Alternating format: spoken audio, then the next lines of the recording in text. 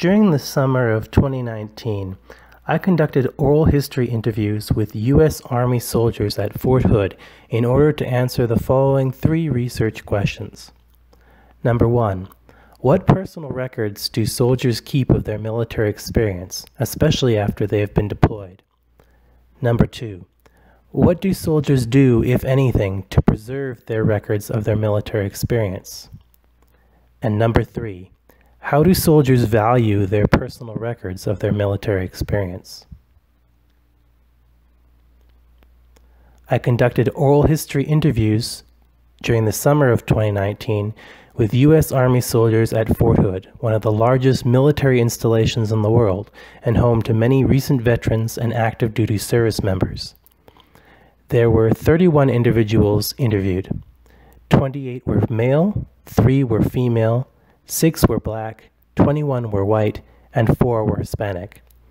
The subjects ranged from privates in their early 20s who had yet to deploy, to captains who had experienced two tours in Iraq and or Afghanistan, to colonels nearing retirement who had experienced multiple deployments that included conflicts prior to 2001. The interviews ranged from 45 minutes to four and a half hours per subject. Each interview consisted of a complete oral history of the soldier's life up to their current duty station and covered their background and service history, as well as the central research questions. Oral history was chosen as the research method in order to investigate the ways in which subjects' personal history, such as major life events or familial upbringing, affected their personal digital archiving practices. From the findings, Subjects were categorized into three groups no preservation, physical preservation only, and high preservation. No preservation individuals were those who either kept no records whatsoever of their military experience or were doing nothing to actively preserve the records that they did have. The majority of subjects, 58%, fell into this category. There were three main reasons for why a soldier would fall into the no preservation category. First, there was evidence of a general lack of digital preservation knowledge among soldiers. Digital materials were kept on storage media, including SIM cards, cell phones, external hard drives, thumb drives, and disks, and while many soldiers kept these storage media in cool, dark, and dry conditions, some even going so far as to lock them in a safe or in some way physically separate them from other like storage media so as not to mix them with other digital records or risk them being accidentally wiped. Nothing was being done to preserve the digital records. In fact, following their deposit in the safe or other storage location, there was no attention paid to the storage media whatsoever, except when the soldier wished to retrieve records or add to the collection. This was particularly troubling in light of the fact that many soldiers would type up physical records, such as letters or journals, with the goals of decreased physical storage space requirements and increased legibility, but also with the misguided understanding that the simple act of transferring to digital was all that was required to ensure the long-term preservation of the records. Social media was heavily used by soldiers as digital preservation tools, with Facebook used for photographs and YouTube used for moving image recordings. Despite the social media website's inherent problems for digital preservation, from the well-known fact of the company's poor track record for data protection that scandals such as that involving Cambridge Analytica have brought to light, to less widely known concerns such as the fact that the company adds its own metadata to photographs uploaded to the web website which can interfere with the provenance of the original record and strip away important contextual information. A common refrain reported by soldiers when asked how they are preserving their digital photographs was, quote, Facebook keeps them. This was done both on an individual as well as a group basis, with entire units often having a Facebook page with multiple photo albums from particular deployments or missions, and unit members uploading collections of photographs over time. The same is done with YouTube for moving image recordings. As a consequence of these readily accessible online archives of photographic and moving image records, many soldiers do not bother to make any records of their own experiences. Instead, their personal archive of their military experience consists primarily or wholly of other people's records. photographs and videos that they have downloaded from the internet that come to represent a record of either specific experiences with a particular unit or of a particular place, or the general military culture in which they served. Subjects told stories that suggest the presence of a sharing culture among modern veterans. At relatively stable locations, often a transfer station such as one in Kuwait or Bagram Air Base in Afghanistan, soldiers would take chance encounters with fellow soldiers from varying units as an opportunity to build their collection of what they considered to be the most captivating digital photographs and videos documenting the war. A reliance on social media for digital preservation shifts this sharing culture to the online space, thereby increasing its reach exponentially. The result of this is demonstrated by anecdotal evidence from my own work as archivist for the Archive of Modern American Warfare at Texas Tech University. During appraisal and accession actions, I consistently found whole collections of photographs and videos accumulated rather than created by donors, and often these materials were duplicates from the collections of other donors who did not share any overlapping service history. These digital records largely documented major events during the time of the donor's military service, such as the capture of Saddam Hussein. Quote, action scenes, such as videos of an airstrike resulting in casualties or photographs of the aftermath of a car bomb detonation, or commemorative videos for a particular unit, one with whom the donor may or may not have served. The presence of a sharing culture and the reliance on social media for digital preservation has implications for the robustness of the historical record for modern conflicts and the diversity of voices being preserved. General apathy was a second reason for why a soldier would fall into the no preservation category. Some soldiers would keep digital records, but then appear unconcerned over whether they could ever be retrieved again. A common answer to a question regarding where the soldier kept their digital records was, quote, they're on my phone somewhere. Many soldiers would still have the original phone that they carried during their service and used to record their experiences, but then would talk about switching to a new phone model and not being overly concerned with ensuring that everything transferred to each new device. Indeed, some reported digital record losses because of this action. Physical record keeping was also a challenge for these individuals. Some spoke of having the idea of keeping a journal, but then would give up on it after a few entries after deciding it wasn't their style, or they just couldn't get into the habit of doing it. For others, the value they placed on their personal, digital, personal military records would change after major life events, such as the soldier who kept a detailed journal of his time in Iraq, only to later throw it away after a painful divorce because he didn't want the memories he now associated with that time in his life. Regardless of the reason for the feeling of apathy toward record keeping, it was almost always a temporary mindset. The vast majority of those soldiers who did not keep any records stated that it is one of their biggest regrets. The third reason why a soldier would fall into the no preservation category had to do with security concerns. For soldiers working in active war zones, many of which carried certain security clearances during their tenure, there were obvious implications that affected their ability to create records of their experiences. Subject number seven, a lieutenant, had recently returned from deployment to Syria as part of Operation Inherent Resolve. His records, including notes of his activities and digital photographs stored on his phone, were kept solely as an operational necessity, and not only were they very closely monitored, such as keeping very brief notes written in his own personal shorthand and disabling the cloud service on his phone so that photographs were not inadvertently backed up anywhere, but they were destroyed once they had served their immediate purpose. Behavior such as this is typical in understanding for high-level operations, and the need to strike a balance between minimizing records for operational security and keeping records for later historical study of those operations is a tricky line to walk. But there are also instances of soldiers being overly cautious and declining to keep records of their experiences, even in situations where doing so would not have been an obvious security concern. This was most prevalent among the lower enlisted privates and young officers who foresaw making a career out of the Army. These individuals mentioned feeling uncertain as to when it would and would not be appropriate to take records, especially photographs and videos, during their deployment, and opted to not take any records at all rather than risk security violations or censure from a superior. The second category that emerged from the research findings was the physical preservation only group. Or PPO, shown in the graph here as some preservation. Those soldiers who fell into this category were those who exhibited good physical record keeping but were failing to adequately preserve their personal digital records. A small minority of subjects, only 10%, fell into this category. Subject number four, a captain, had kept shoeboxes of correspondence that she had had between her and her fellow soldier husband while deployed, but was also storing a fairly significant collection of digital records on flash drives in her office drawers with no attention being paid to their preservation.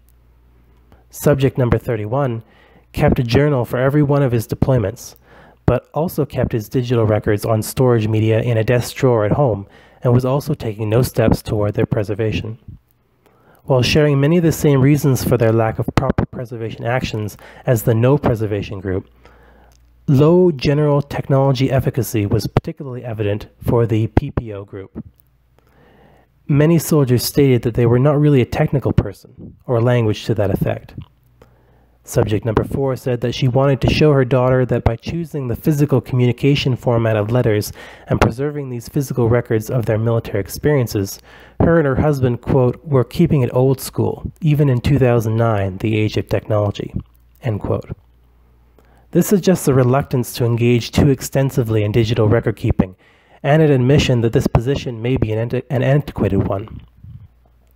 It should be noted that subject number four was a 30 something woman, 20 something during the time of her deployment, and advanced age was not shown to be a correlating factor in displaying signs of low technology efficacy. I have noted in my own work that some soldiers may be passing on the propensity for avoiding digital record keeping to future generations as well. As I once overheard a 30 something veteran telling a group of ROTC students at a Veterans Day event to, quote, make sure to write physical letters home and maybe keep a journal. You're really going to appreciate having that physical record of your experience when you get back, end quote. The final and most intriguing category of subjects was the high preservation group. This category consisted of those soldiers who kept detailed records of their military experience in both physical and digital formats and exhibited excellent stewardship of these records. A significant minority of soldiers interviewed, 32%, fell into this category. Subject number 9 had a large photograph collection that included approximately 400 digital photographs that he had backed up, as well as a number of physical photograph albums where he kept countless photographs that he had taken with disposable film cameras. He also had a full set of correspondence between himself and his parents written while he was deployed. All of these physical records were stored in places such as a closet or under a bed, and the soldier noted that their cool temperature and absence of light made them ideal for the record's preservation. Subject number 10 talked about a medic who had been designated his unit's unofficial historian and who ran a digital photograph archive consisting of photographs from the platoon that was backed up. This same soldier talked about his own records, which included photographs, journals, notebooks, and sketches, all of which either physically stored in a cool, dark location or digitally backed up. This soldier discussed how he was encouraged to take an active role in keeping records of his military experience after his grandmother showed him his grandfather's personal records from the Vietnam War. Many other examples were found in this category of soldiers backing up digital materials using multiple storage media and cloud storage, having their parents or significant others keeping all the letters sent home, keeping storage bins full of physical photographs and personal papers, and keeping daily journals. By far the most committed soldier was subject number 19, who took his VHS-C tape recordings and converted them to digital files, storing the originals in a cool, dark location. He then backed up the digital files along with his collection of digital photographs using both a local RAID system and cloud storage. More research needs to be done to determine the characteristics of high preservation individuals.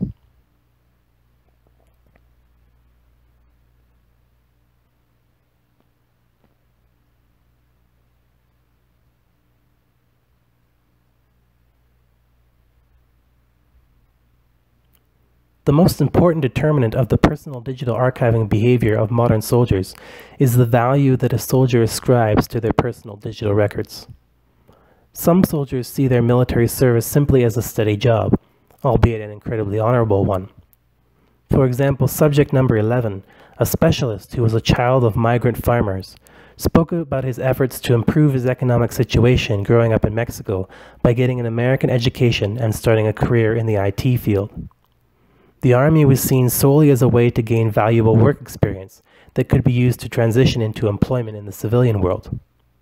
The limited value this soldier placed on his military service was reflected in his lack of personal archiving behavior.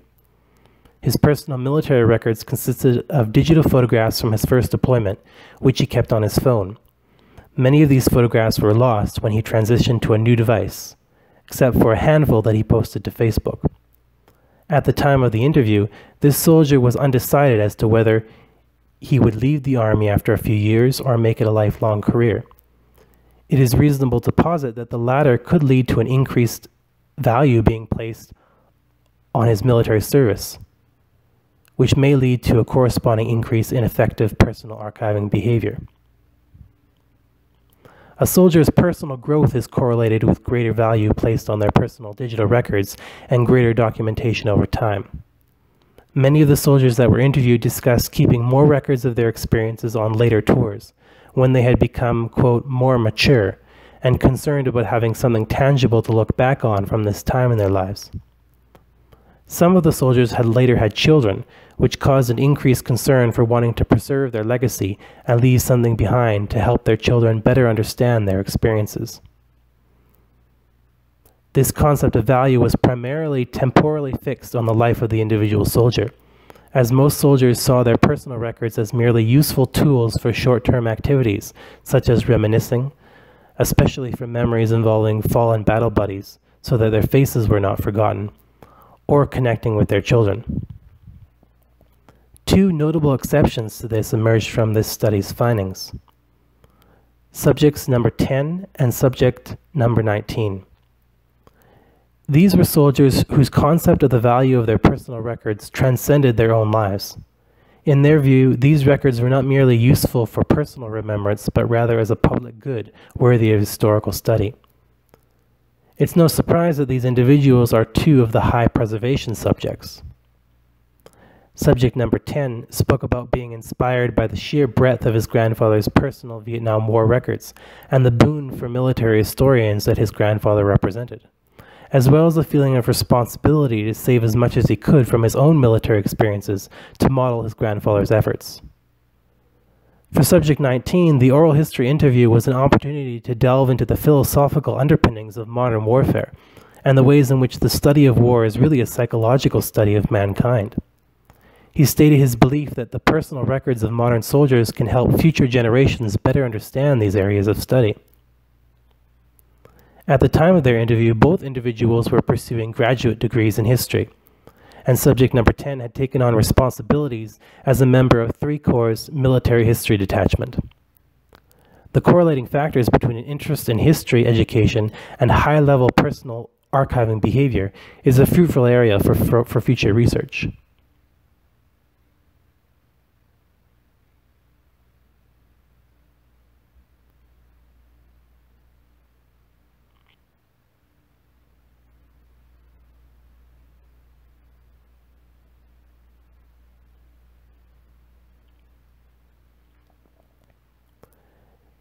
This study examined the personal archiving practices of a group of U.S. Army soldiers based out of Fort Hood. Further research should be done with larger sample sizes to compare the findings of the, this study with those of similar studies of soldiers from other branches, particularly the Marine Corps, which is known for the care and attention it gives to preserving its organizational history. While the findings of this study suggest that there are inherent problems in the record-keeping habits of modern soldiers, these problems can be mitigated by encouraging greater personal archiving practices among today's soldiers, we can ensure that we have a robust historical record of modern conflicts for future historians. Thank you for listening.